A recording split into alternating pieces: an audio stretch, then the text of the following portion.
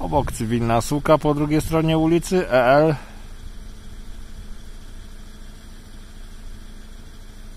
H 161 mm mm